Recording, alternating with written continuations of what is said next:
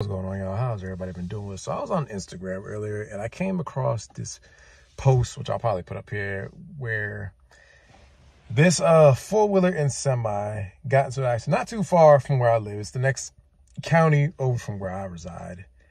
So basically what happened was they were on US 98. Now this particular portion I'm very familiar with. It's only two lanes, one lane going north, one lane going south. So this four-wheeler, he was just impatient. He just couldn't be behind the four-wheeler in front of him. And he decides to make an illegal pass. So he was basically going north in the southbound lane. He ends up hitting a semi head on.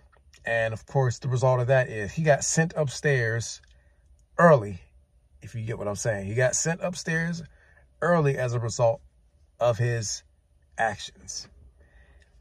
If you ask me, I honestly, I have no sympathy for him because why would you do that?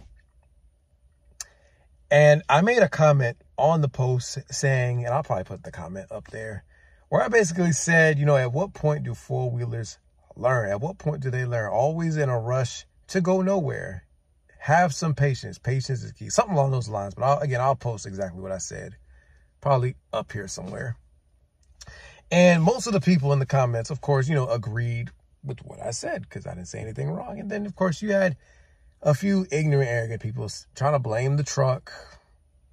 But there was one comment in particular that stuck out to me where, and I'll post this comment, but he basically said something along the lines of how he's going to intentionally brake check a truck to get a check, something along those lines. And, you know, I trolled him a little bit and I let him know, like, you do realize most of these semi trucks, even the raggedy ones, have a camera in the truck. They record crystal clear. They even got it now to where some of them record all angles of the truck. So, I mean, you have to first survive that. And I think a lot of four wheelers, they get caught up in those stupid billboards that they put along there. I wish they would tear them things down. They let those billboards get to their head, but they forget the fact that you have to first survive that crash. Because, I mean, if you get hit in the back by a semi, at 65, 70 plus miles an hour. I mean, I don't think the cards are in your favor of surviving that, honestly. But I mean, if you do, then you have to, you know, prove that the truck driver is wrong. And I don't know what judge or lawyer is going to cut you a check when they see that you were intentionally brake checking a semi. I don't, I personally don't know. And I know plenty of lawyers. I don't know not one that's going to say, yes, we're going to grant you a few million dollars for intentionally brake checking this semi truck. Maybe y'all know him, but I personally don't. And the sad part about it all is people have no respect for truck drivers. Now I get it, you know, we have a bad rep for some of the things that we do, but at the end of the day, regardless of how nasty some truck drivers are, regardless of all of that, everything we get in some way, shape, or form comes from a semi truck. Everything. Everything we all reap the benefits of semis, myself included. Everything we get, and I challenge y'all to name one thing that we don't get from a truck in some way, shape, or form. Everything we get, this phone in my hand comes from a truck. The asphalt for the roads comes from a truck. Hell, the lines, the paint, the white and yellow paint comes from a truck. The signs on the interstate comes from a truck. The hair grease for my hair comes from a truck. These AirPods, everything, the tooth, everything in some way, shape, or form comes from a truck. And I'm sure somebody's going to make the argument that's going to say, well, you know, you have the rails. We do have the rails. Yes, we have the rails. The wheels to the train, it comes from a semi-truck in some way, shape, or form. The parts to the train comes from a truck. The rails come from a truck. Well, you know, we have the planes we do. The parts of the plane comes from truck.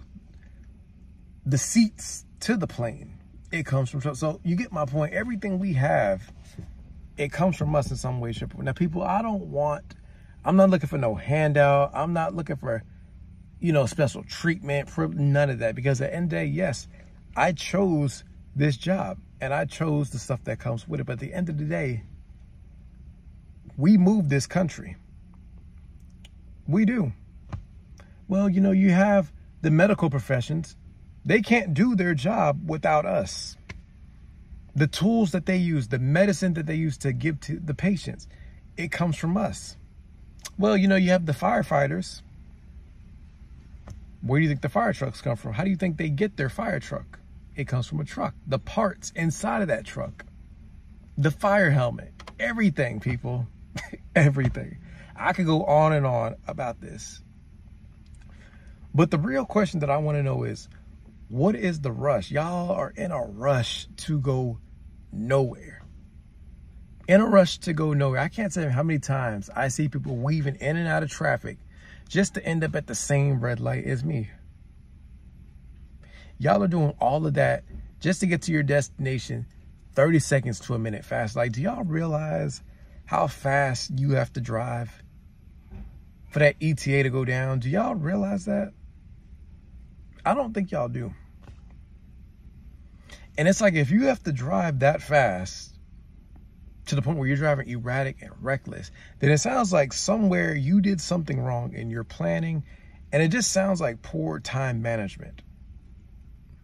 There's no reason to be passing people illegally. There's no reason to going 20, 30, 40 miles over the speed. There's no reason for it.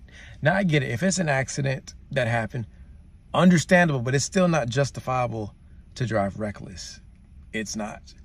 I drive strictly overnights. I start driving typically anywhere around 8 o'clock up to 9.30. I start anywhere between there and I'm driving all the way through the night into the early morning, like maybe 8 o'clock at the latest. And I can't tell you how many times I'll be in the middle of nowhere and I'll see people driving reckless. Like, where are you rushing to get to? 2 or 3 o'clock in the morning, ain't nothing open except maybe the gas station. Where are you rushing to get to?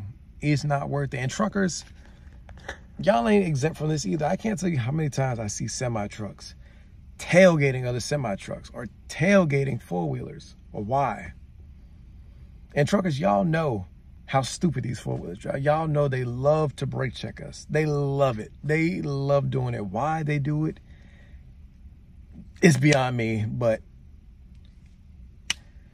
knowing all these things and y'all still decide to do it, I see truckers flying, going 80 or better. For what? You know, unless you're, you know, a cattle hauler, why are y'all driving like that? Y'all got to do better. That's all I'm to say. Y'all got to do better because it's, it's insane.